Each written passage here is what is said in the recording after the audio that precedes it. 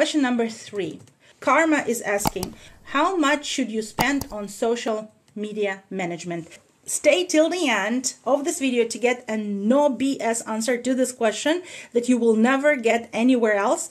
And of course, make sure to like, comment, and subscribe.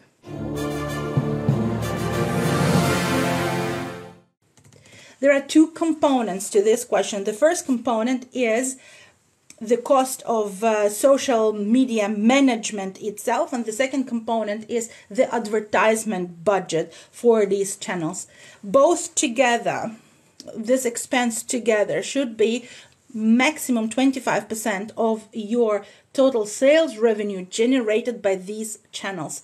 The less the percentage the better your return on ad spend the better your offer, the better your conversion, the better your targeting. So you want it to be 25% or less. The less, the better of the revenue generated by these channels. Not the total revenue generated by your company, but the revenue generated by these channels.